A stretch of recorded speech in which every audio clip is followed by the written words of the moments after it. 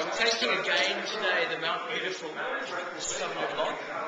Um, we've looked at this once before at the New Zealand Wine Fair, and uh, it's very noisy today. But I just wanted to quickly have another look at it. One of the reasons why I it the last time was the flavour profile was quite different from the standard Sauvignon Blanc.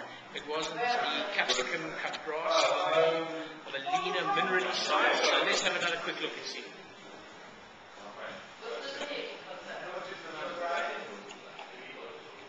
Yeah, there's a nice, crisp, dry, flinty sort of finish to it. It reminds me a little bit of a Pouilly as opposed to being uh, North Canterbury Sauvignon Blanc. So it's quite an interesting wine. I think we might put that on the database. It's going to be around about early